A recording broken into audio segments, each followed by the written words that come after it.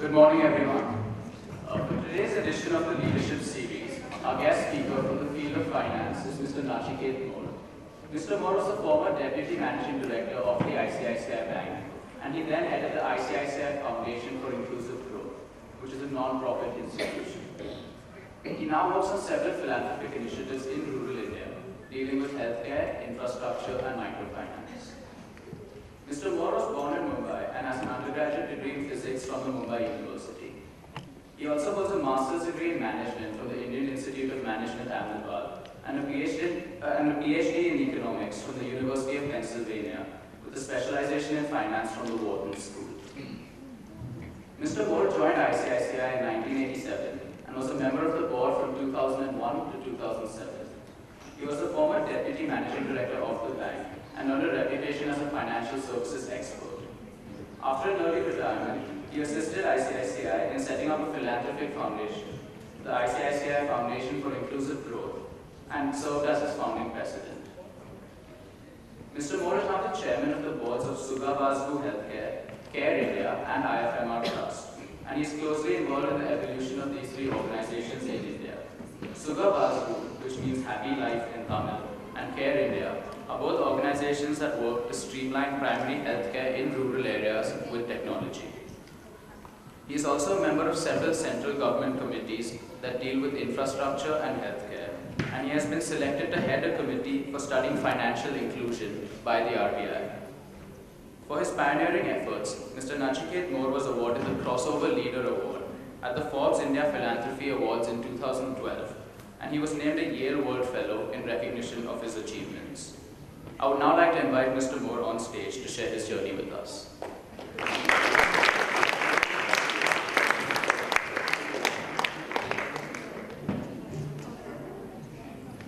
Thank you very much, uh, Ishan, for that uh, very generous introduction.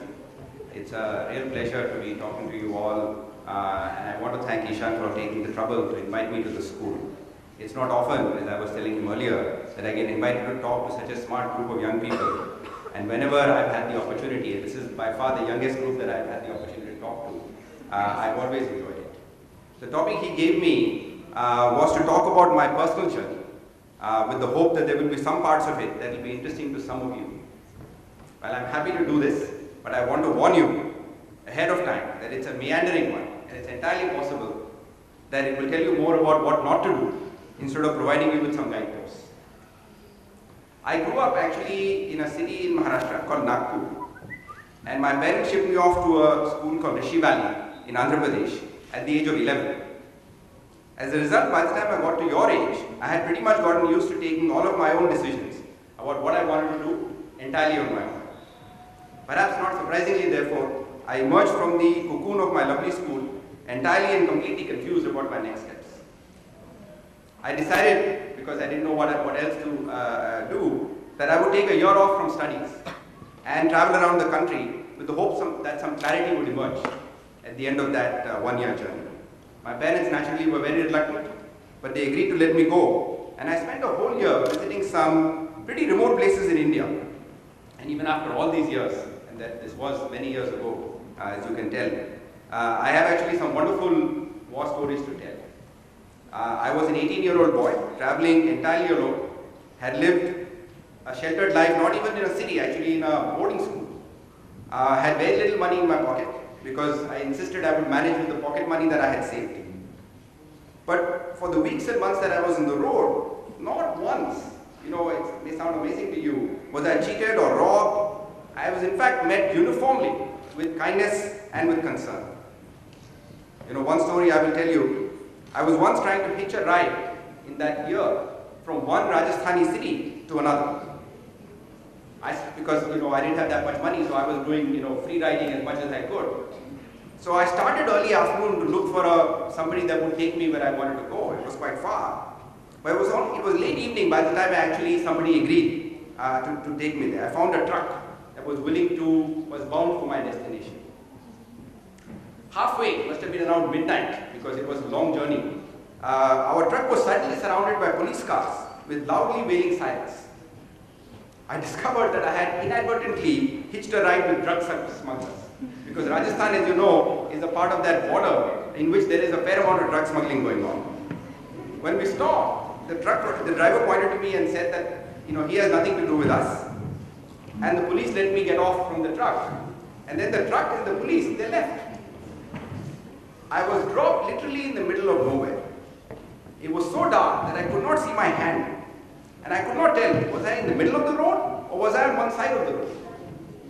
So I did the only thing I could think of, just put my little suitcase down and sit on top of it and wait for the morning to dawn because I could at least feel my suitcase and I knew where it was. After what seemed like eons, the truck showed up again and asked me to get back in to continue my journey and inform me they had settled the matter with the police. They had no reason to return. They could have just left me there to continue the journey and these were not the nicest of people. But you know, I didn't, they didn't decide to just dump me and, and push off somewhere else. I was actually quite pleased and quite relieved, frankly, that they had decided to come back. But at the end of the year, while that year was very valuable, from an academic perspective, it didn't actually provide me a lot of clarity what I wanted to do. Since physics was closest to the subject that I seemed to like and I had some ability in, I decided that I would pursue a bachelor's degree in physics at Bombay University, as Ishan pointed out. And I, I said that, you know, at the end of that three-year period, if I felt the same way about physics, I would continue uh, uh, with physics. And this is how I ended up in the big bad city of Bombay. And I must say, while I had studied in England for a while as an exchange student, and I had visited the city of London, arriving in Bombay was a huge, big shock. I stayed in a hostel, made some very, very good friends, and sure enough, I started to meet the physics nerd types. I'm sure some of you are sitting in the audience here. and I, I discovered that I did not have quite the passion for physics that I thought originally I had when I started, uh, you know, thinking about it. But while living there, I developed a deep and eventually lasting interest in the problems of poverty and development. And, and, and, and I felt that this may be an area that I wanted to focus on uh, for my future. So I decided, while I was in college, to explore this area further and started to volunteer with NGOs on a part-time during my academic year and full-time uh, during my summer breaks to learn more about it. Through these three years of very good experiences in different places with extremely left-wing Maoist type NGOs, extremely right-wing NGOs that only be, believe in economic development and don't worry about rights and such like, I, I, I, I thought that, that that work, you know, I, I felt an affinity with it. But I also realized there is yet another warm body, somebody with a lot of passion. I was not really contributing to much, much to the field, and I really needed to get some skills in order to be useful if I wanted to work in this area. And obviously, since an undergraduate degree in physics was not exactly the right preparation for doing development work, after talking to many, many people, thinking about a field like the IAS, for example, that you might think about later on in your careers, I felt it was not such a good for me and I would get a more general degree called an MBA and that would be a much better preparation. Now the entrance exam to the MBA program, many of you have already given, I would imagine, your exams, uh, was my first real exposure to serious competition. Until now, I had been in a very, very sheltered environment. And Bombay, being Bombay, I realized when I started to think about how to prepare, I had to sit for an entrance exam to get into a coaching class for the entrance exam. I had discovered pretty early in life that I was no genius and had the added problems of very limited attention span, very poor ability to remember things, and a very restless temperament. So I developed a coping strategy which was set a daily pattern with a lot of variety. I couldn't do one thing for more than an hour, uh, but a pattern that I simply had to follow. For the MBA entrance exam, I somehow got into the coaching class, but discovered very quickly that I had a real uphill climb. My first day, they gave us a math test. I found that the person sitting next to me, it was 25 questions. He had finished the 25 question exam in less than half the time allotted for it. In the entire time, I had finished half the exam and gotten half those answers wrong. I was tempted to give up right then and there. And, but since that was not really a choice, because if I gave up that, what was I going to do? I spent a lot of time trying to decide that this is what I was going to do. So I decided to put my old, you know, this pattern that I spoke about a little bit earlier into action. And in the six months that I had to prepare, because that first class was a real shock to me, and I realized that if I didn't, you know, get it together, I wouldn't make it. I solved every single problem set I could find. I would go to, I don't know if those of you go to Flora Fountain, you'll see all these second-hand booksellers. They will sell you all these old books for preparing for exams. I buy every one of them and solve every single one. And then I did a full-length admissions exam every single Sunday. You know, you can imagine how many Sundays that was.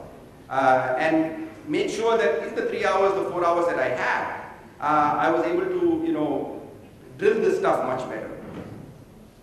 And gradually, I got better uh, at, at, doing those, you know, 25 question tests. I wasn't that bad as it was right away. Fortunately for me, that strategy worked out. And I was able to squeak in to IIM Ahmedabad. Um, and then using the same approach, I finished near the top of my class. Uh, but again, to do that, while a lot of my classmates watched every TV program, went to every restaurant that they could find in the city of Ahmedabad, I did nothing else. Because I knew that if I, without the natural talents that some of my classmates had, if I slacked off, I would simply drop off the map. Perhaps because I had come from a boarding school background and I had very early developed an independent streak, I became one of those people who, despite being very confused, choose a direction and then set off in that direction in a dogged manner no matter what everybody else around them is doing. So while everybody else in my batch was joining very highly rated private sector and international companies, given my interest in development, I did my summer training with an NGO, I was an MP, and then decided to take a job with ICICI, which was then a government-owned development finance institution, and paid a princely salary of 1500 rupees a month. Having come from a modest background, and with my elder brother always around to support me in every way, I didn't worry about money as much. And my early years at ICICI were just amazing. I met some wonderful people, had the good fortune of having stalwarts, some of you may have heard these names, some of you may not have, may, may hear them later, like Mr. Kamath, Mr. Vaghul, Mrs. Morparia. They provided me with great mentorship.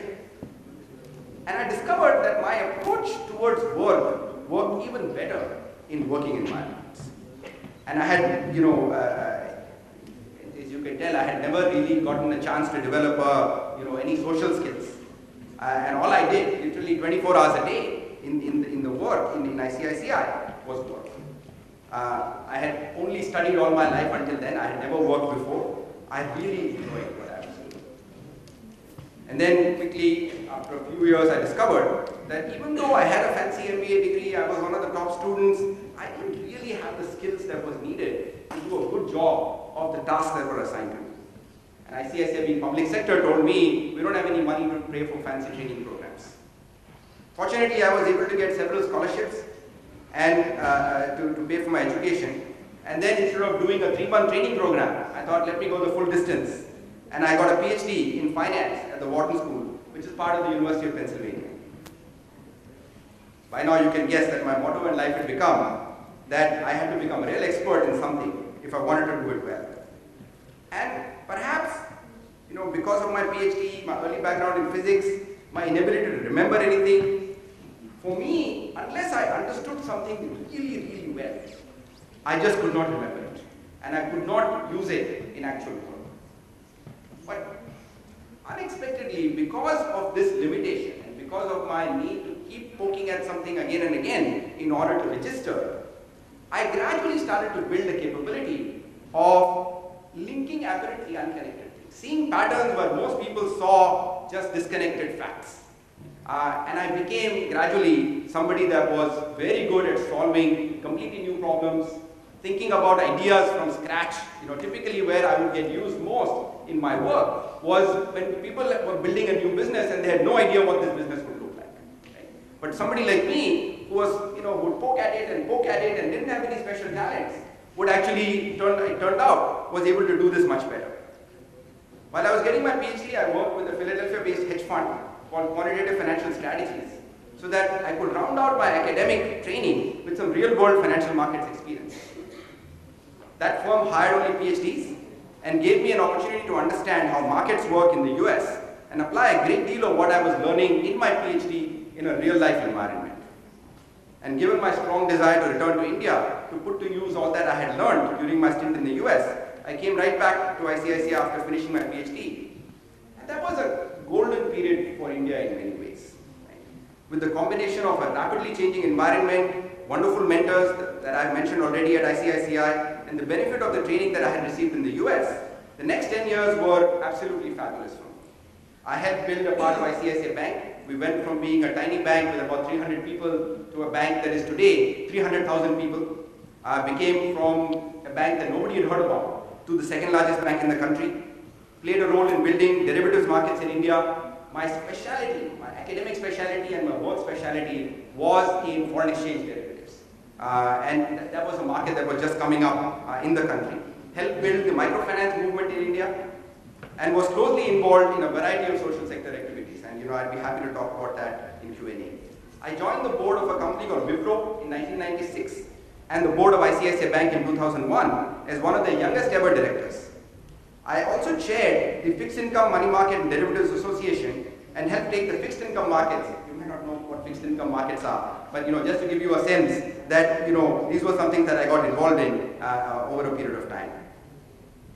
2004, about 10, 15 years after I had come time in ICICI, I got an opportunity to be a student again at Yale University as a World Fellow and which gave me an opportunity to reflect on what I wanted to do next. I spent about six months there. In fact, all of us as a family uh, went there. You know, this was one of those programs. They choose one person from every part of the world, and, and they ask to spend about a few months at the university.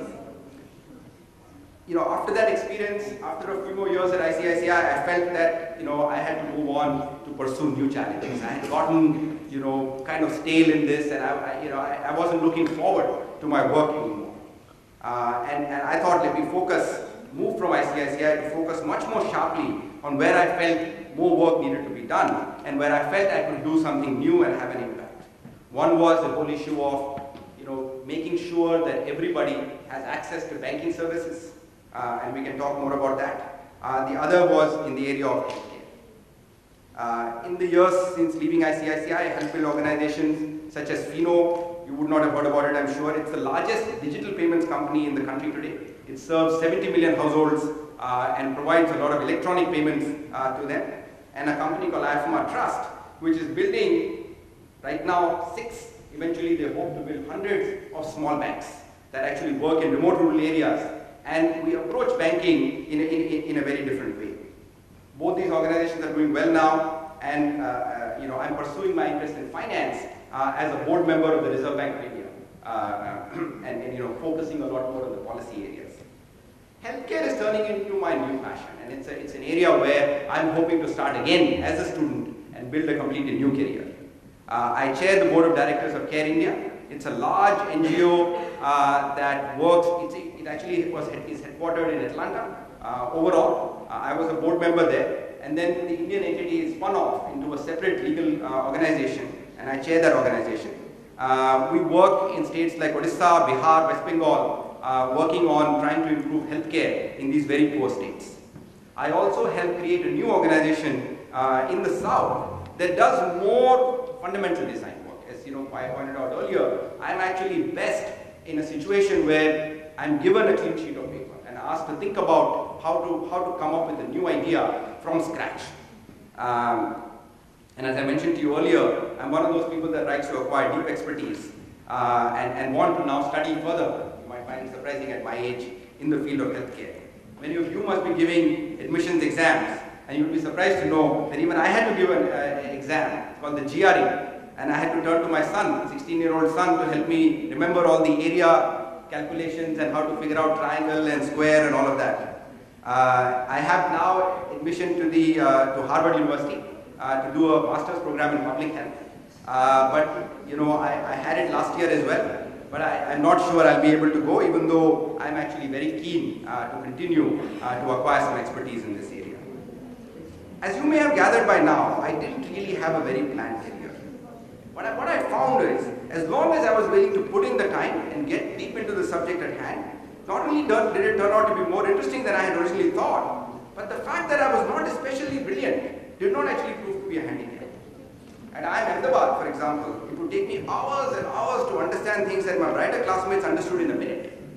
But because I stuck to it, I eventually caught up and gradually started to build some of the new capabilities that I mentioned earlier.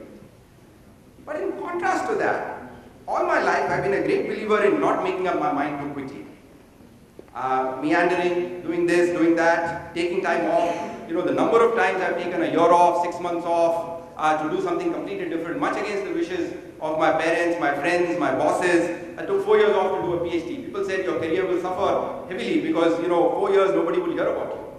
You know, but uh, my instinct was let me do what I think, you know, works out very well. I really enjoyed volunteering, for example, as an opportunity to get to know uh, organizations really intimately, get to know the work uh, really well. And then once I decide what I want to do, I worry less about, am I good at this? I really much more worry about, does it interest me? Is it exciting? And then I, I found that, you know, by putting in the hours, you can actually become really good at, at, at something else, right? I don't know if the story or approach holds any lessons for you or sparks off any ideas in your mind, but I want to wish you all all the very best for the future. Knowing your school, knowing some of you, I'm very sure that you will do very well. The key question that I feel you'll have to constantly ask yourselves is what will you do with all this talent that you have, that it makes you happy, but also works to make the world a little bit of a better place. Thank you.